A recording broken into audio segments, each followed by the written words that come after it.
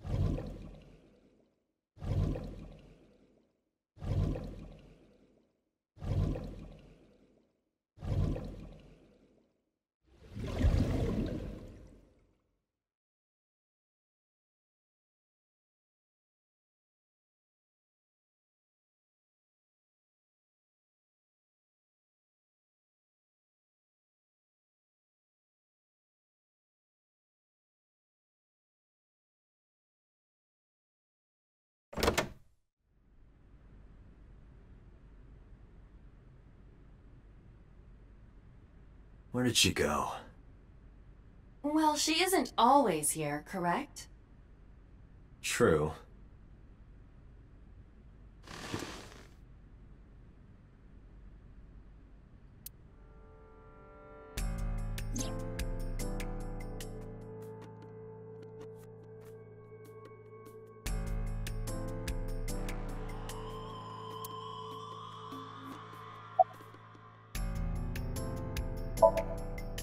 As you know, he is an assassin with multiple confirmed kills.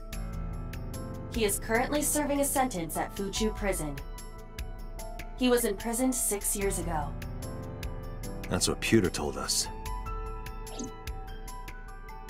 After his fourth murder, he was arrested by the police.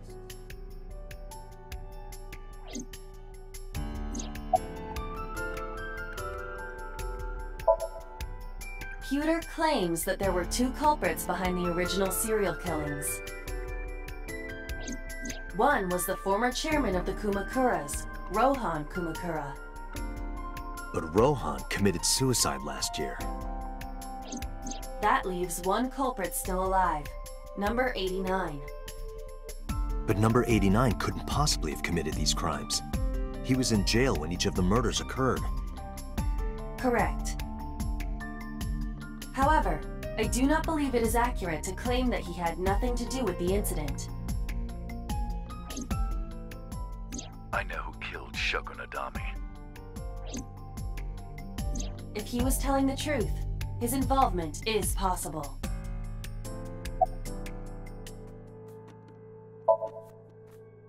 Unknown. You don't know? No such person is listed in the family registry. It is possible he is a foreigner, but his nationality is unknown. However, I believe it is safe to say that he was born and raised in Japan.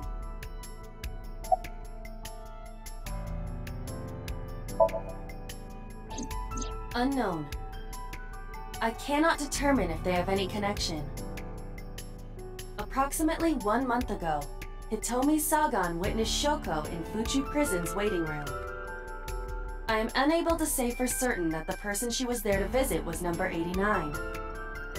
After all, Fuchu Prison houses 2,000 inmates. But number 89 knew Shoko's name. I know who killed Shoko Nadami. That must mean that he knew her somehow. It is possible.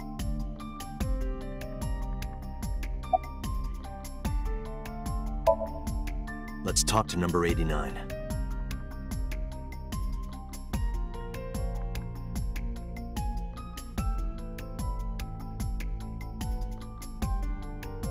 All right. However, we need not go to him. We can bring him to us. If we plan on syncing with him, it would be more efficient. Can you arrange that? I can.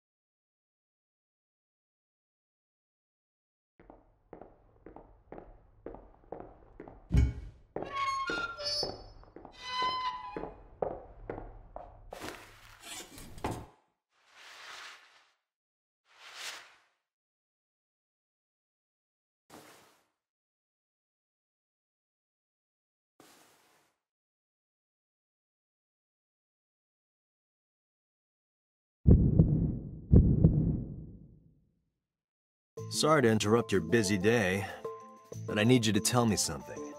I'd appreciate your cooperation.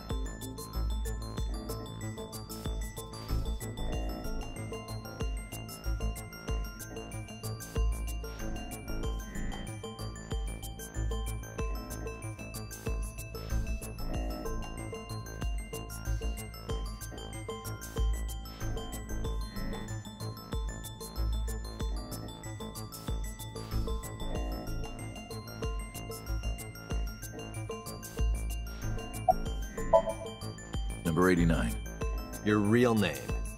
I don't remember.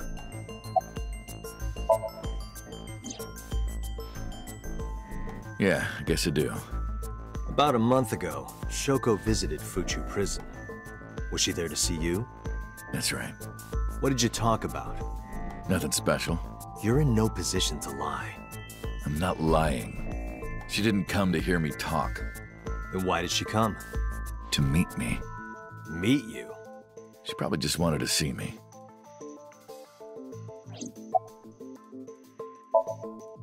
Burkina Faso. Burkina Faso is a republic in West Africa. Population 17 million. I don't have time for your jokes. A long time ago. I don't remember exactly when. What's your relationship to her? A physical one. I'm kidding. She was just a business partner.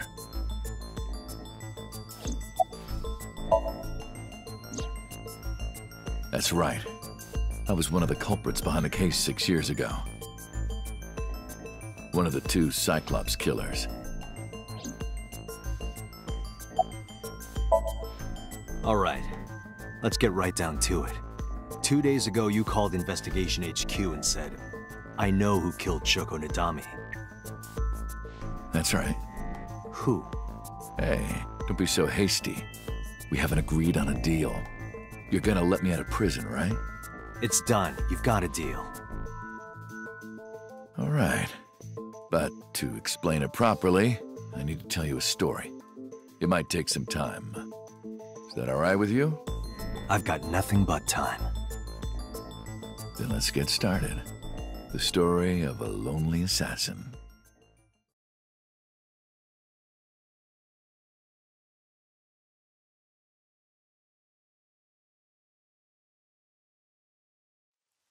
Once upon a time, there was a detective, full of righteous justice. Let's call him F. F found the evils of the world intolerable. F had no parents, no siblings, and grew up in an orphanage since he was born. He suffered every kind of abuse imaginable there. It led him to despise all the evils of the world.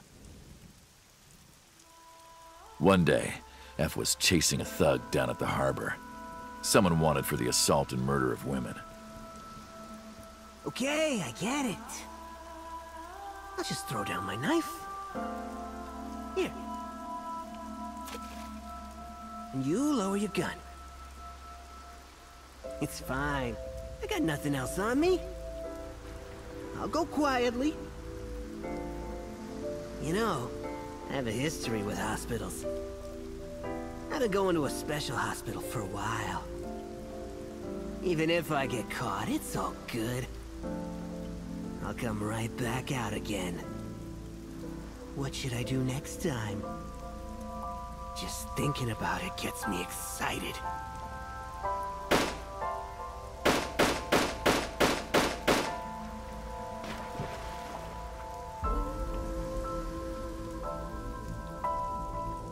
The culprit was unarmed, but F never served a day in prison. The case went to trial for some time, but it was determined to be self-defense, and he was declared innocent. If the truth got out, it would be a huge scandal for the police. People at the upper level were terrified of what might happen, so they had evidence fabricated. F wasn't suspended or disciplined at all. After a while,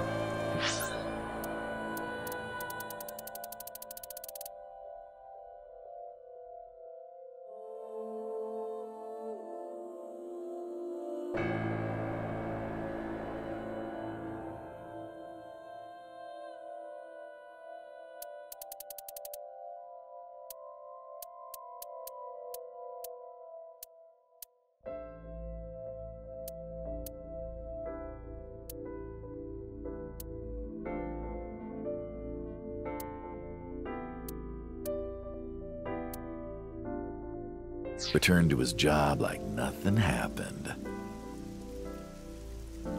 That was a turning point for him. He was ready to shed the morality that was weighing him down, holding him back. F still wanted justice, and he was willing to dispense it to the immoral one by one. he became an assassin. A lone gunman. No agent, no employer. He was his own man. F believed that he was judge, jury, and executioner. But it didn't last long. One day, F got rid of a criminal we'll call X. X was responsible for defrauding and killing an innocent old man for his life insurance policy. Turns out, X had connections. Someone wasn't happy that he died. Rohan Kumakura, chairman of the Kumakuras. X was a top executive of the Kumakuras at the time. Rohan ordered his men to find and kidnap F.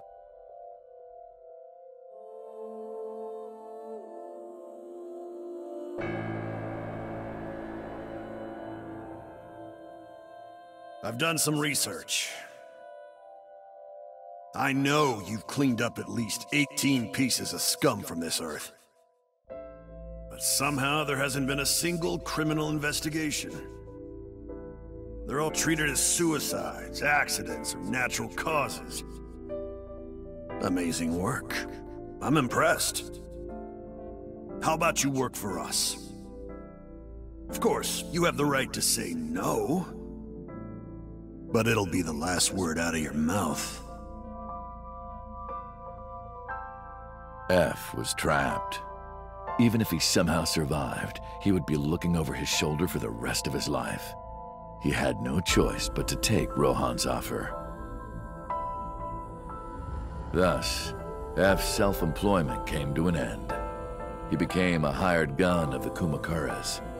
Rohan even gave him a code name, Falco named for the falcon, a bird of prey.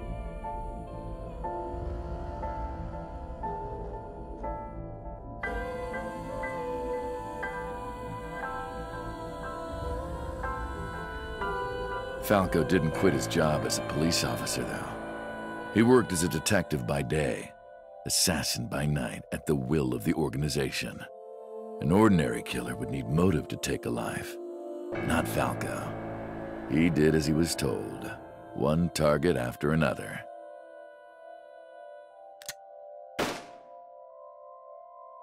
It didn't take long to destroy his heart completely.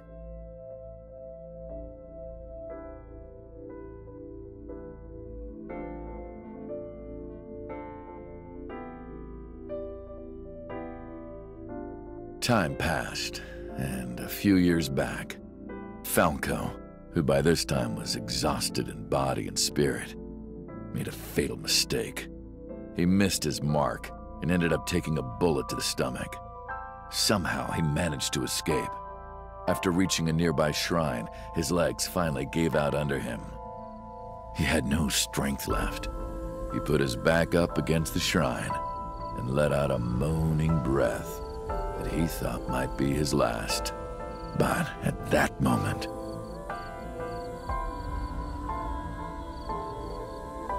In his darkening vision, he saw a woman approach him. He watched her take out her phone and dial for help. At the same time, he heard footsteps. Footsteps of at least two people closing in. He knew immediately that they were after him. He sprung into action, grabbing the woman and pulling her close, kissing her to keep her from talking.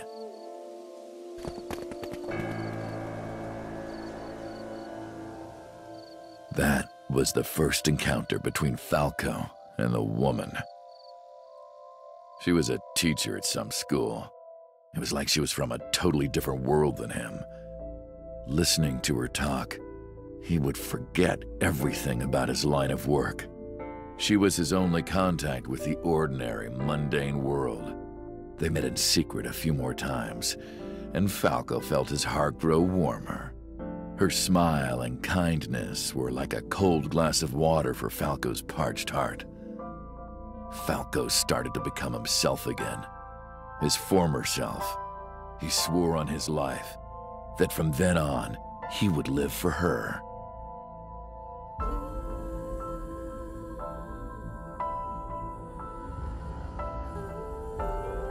So, you want to go clean?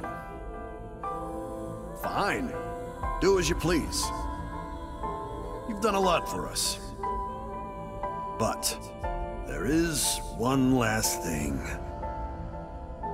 One final job I want you to do for me. It's nothing major. This woman and her daughter. I need you to dispose of them. Should be simple, no? Rohan handed Falco a picture of a woman and a girl. It was the teacher Falco met at the shrine. And her daughter. She had just turned 12. Why the two of them? Rohan, as usual, never gave a reason. And Falco had no intention of carrying out the kill. But if he didn't, he knew that someone else would. He thought long and hard. How was he going to keep them safe and get out of the life of crime? He couldn't find an answer, no matter how hard he thought. He was backed into a corner. So, he decided to call on an old friend for help. And then...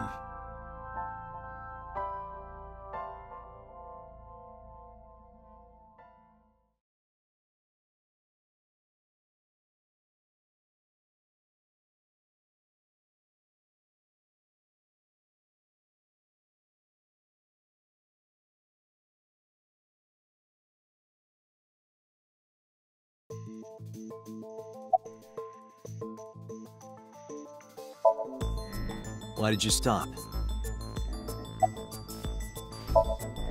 Was that the whole story? You mentioned a detective. What's the connection between that and Shoko? Hey, answer me. This is a transaction, remember?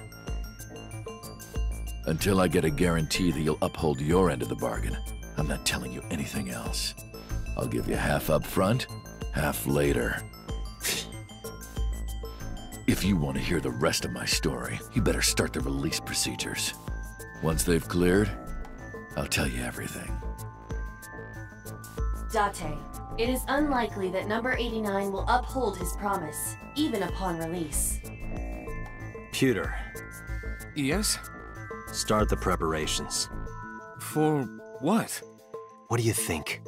the psync.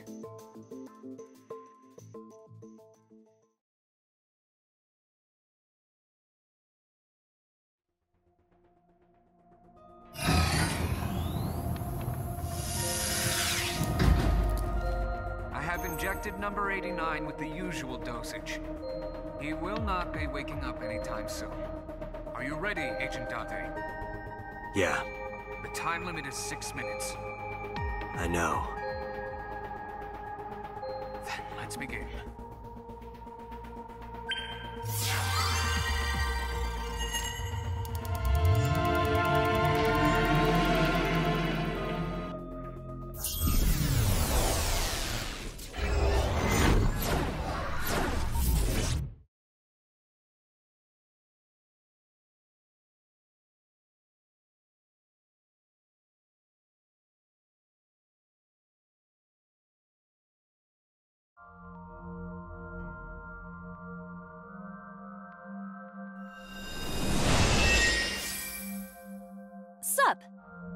Not sup. Why are you sleeping on the job? Because I want to, obviously. Why are you getting mad at me?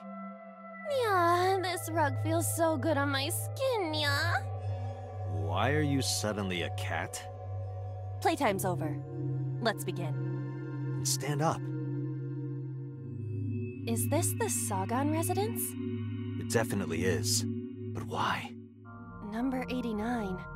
What were you up to?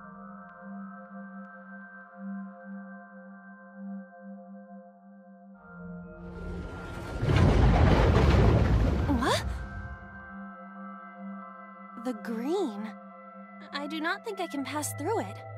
Really wants to hide it, huh? Okay, new plan. Somnium scan. Activate.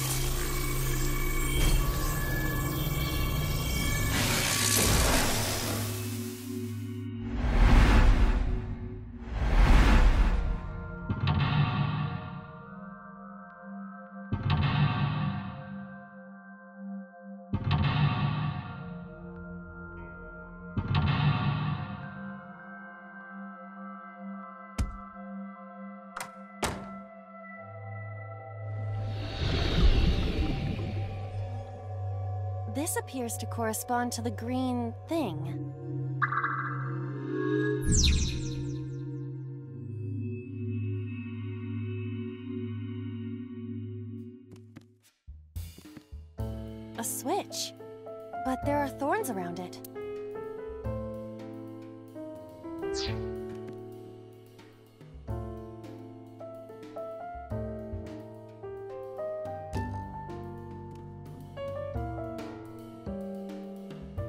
Picture. Just a picture. I don't have a pen. No choice. I must use my blood. You don't have to go that far.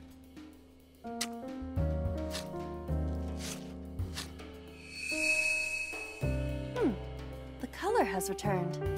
Hey, Aiba? I said blood, but it is not the same as human blood. No need to worry. And besides, we are in a dream. Still, blood? I'd feel better if you used a different word. For example, Body fluids? I do not feel comfortable with that. A phone. Should I pick it up?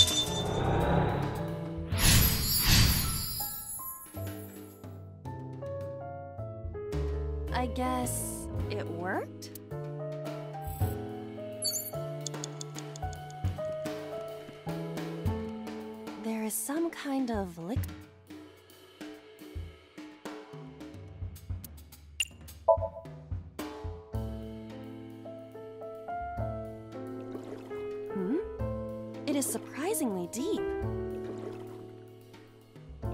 Did you find anything? Well. Oh! There is something! A cork.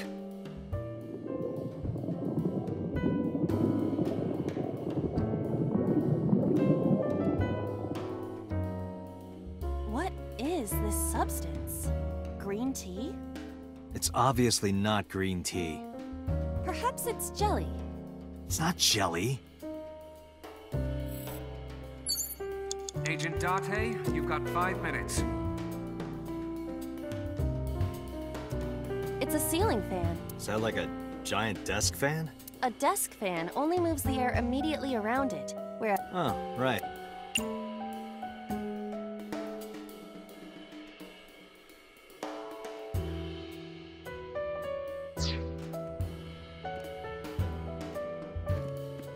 A book.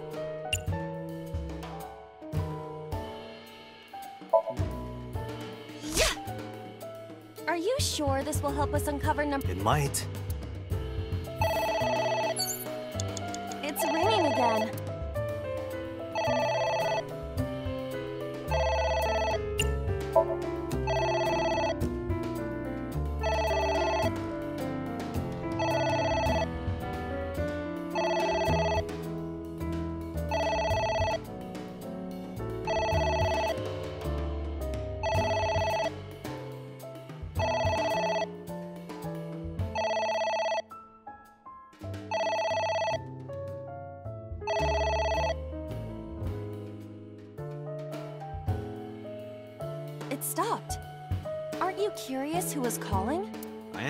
Am curious, but what if they threaten me for money? You're a police officer. Have some backbone.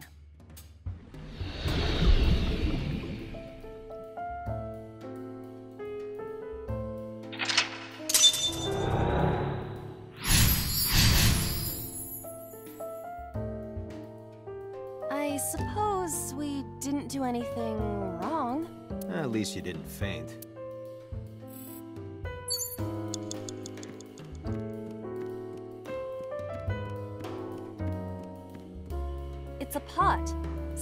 Rising from it. It appears to be some kind of green curry. Maybe a soybean stew? It might also be boiled green juice. Yeah, like a slime. A turtle ninja could leap out at any moment.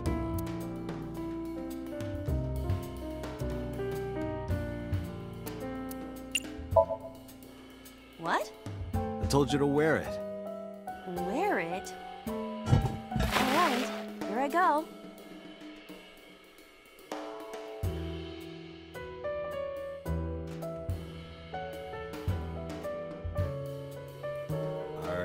Okay? I am fine, actually.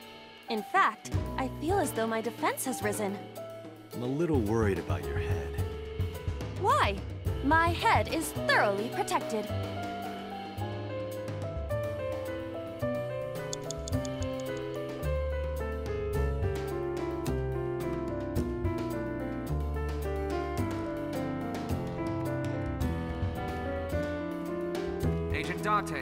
Date, four minutes.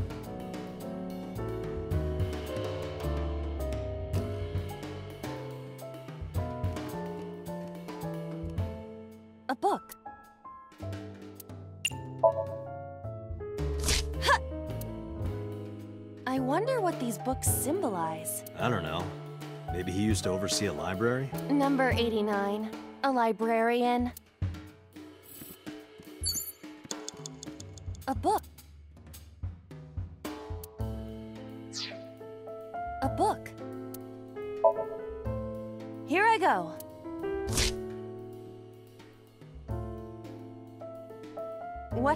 Nothing.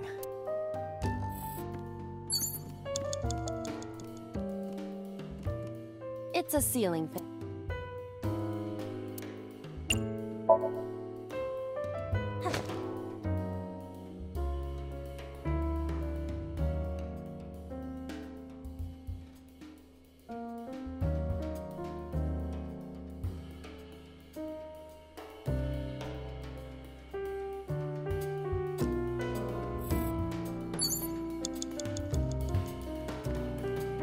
A switch. This switch again. Last time we handled it in a different manner. That was then. This. But there are thorns. You are aware that I am the one who feels the pain. It's fine. It'll only hurt for a bit, then it'll be better. Oh, it doesn't hurt. The light has turned on. Three minutes, Date. What is that?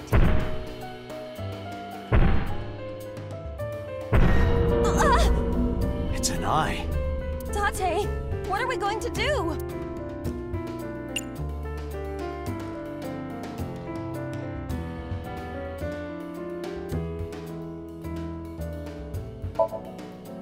Leave it to me. With a target that large, this will be easy.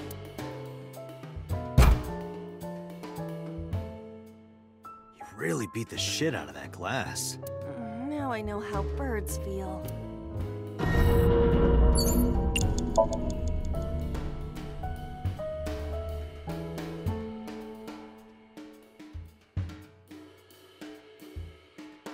Lemon?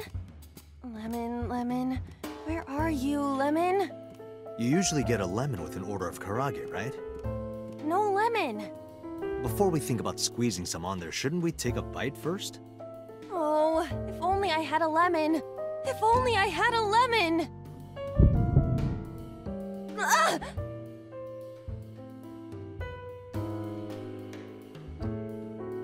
I passed out. Oh, we also could have ordered a lemon sour. That would have worked. Why wouldn't I order something else entirely? Oh, that works too.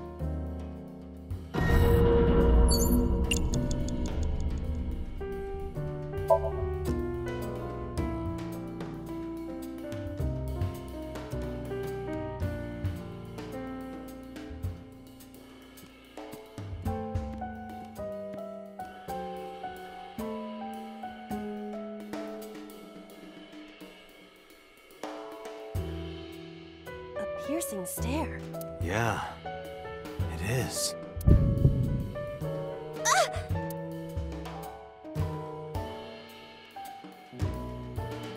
Uh, I passed out when it looked at me.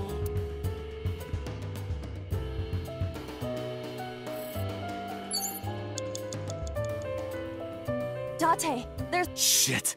This isn't good!